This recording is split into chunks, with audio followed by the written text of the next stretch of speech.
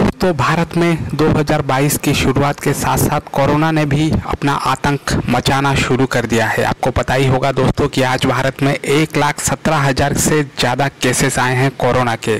तो दोस्तों, ऐसे में मैं आप सबसे गुजारिश करूँगा कि आप लोग जितना हो सके खुद को सेफ़ रखिए, अपने परिवार को सेफ़ रखिए और अभी तक अगर वैक्सीन नहीं लिया है तो वैक्सीन ज़रूर लगवाइए दोस्तों, क्योंकि वैक्सीन आपको सीरियस होने से बचाएगा।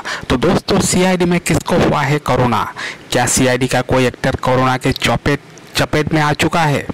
क्या है इसके पीछे की असली राज? क्या सच में सीआईडी के एक्टर्स जो हैं, वो कोरोना के चपेट में धीरे धीरे आ रहे हैं? सब कुछ आपको बताऊँगा इस वीडियो में। तो फटाफट से इस वीडियो को दिल से लाइक कर दीजिए। और अगर चैनल पर नए आए हैं तो प्लीज़ चैनल को सब्सक्राइब ज़रूर करिए और नीचे कमेंट बॉक्स में दया या फिर अभिजीत लिखकर इस वीडियो को सपोर्ट करिए और अपना प्यार दिखाइए।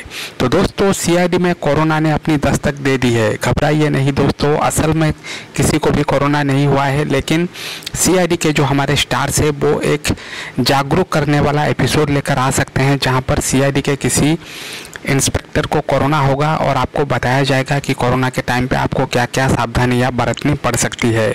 तो मेरे हिसाब से दोस्तों, ये काफ़ी अच्छा इनिशिएटिव है क्योंकि आज भी कई सारे लोग जो है वो वैक्सीन उनको नहीं लगा है। वो लोग डरते हैं कि वैक्सीन लगवाने से शायद कोई प्रॉब्लम हो जाए या फिर वगैरह वगैरह कई तरह की बातें जो है उनकी मन में भी आती है। तो दोस्तों, ये एपिसोड काफ़ी इंस्पायरिंग होगा हम सब के लिए।